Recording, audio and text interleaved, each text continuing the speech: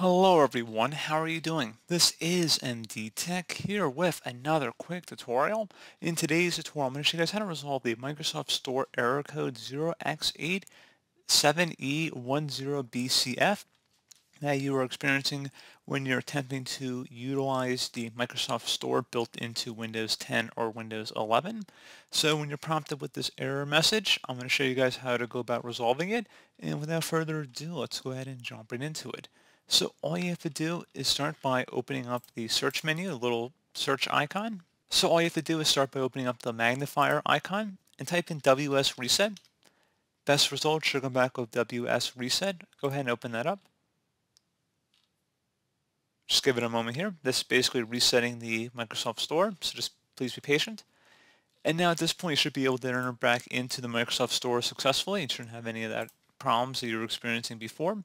One further thing you can try here as well is after restarting your computer, attempt to launch the app again, and if it's still not working, make sure that you are signed into your Microsoft account so if you actually were to open up the Microsoft Store here. Make sure you are signed in. So this may look a little bit different depending on the version of the Microsoft Store you're using, but in this version there's a little circle icon with a profile that says sign in. Make sure you're signed in properly. So again, double check on that.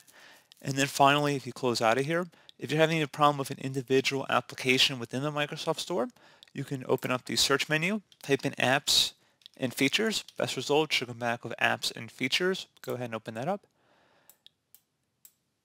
And now if you download the app perhaps and it's a local program on your computer, you can attempt to reset it from this page as well. So for example, let's say you're having an issue with any one of these applications. So let's just, for example, say the mail and the mail and calendar.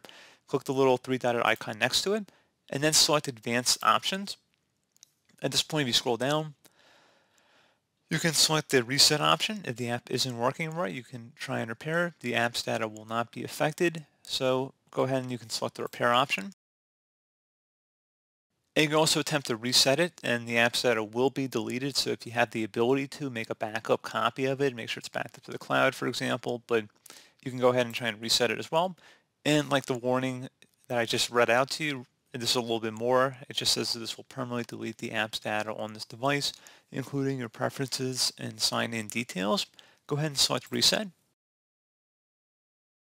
And then hopefully at that point, again, I would suggest you guys restart your computer. So I'm actually going to go ahead and demonstrate that because, you know, some of you guys, number one, don't know how to restart your computer. And number two, if you don't see me do it, you might not actually do it on your end. So I know for most of you guys that should be pretty obvious, but you know, for some viewers they seem to have that issue. But I would recommend restarting your computer at a couple different intervals, like I mentioned through this video. But at least if you got it done this time, you know, when I'm actually showing it here on the screen, you should be good to go. So as always, thank you for watching this brief tutorial. I do hope I was able to help you out, and I do look forward to catching you all in the next tutorial. Goodbye.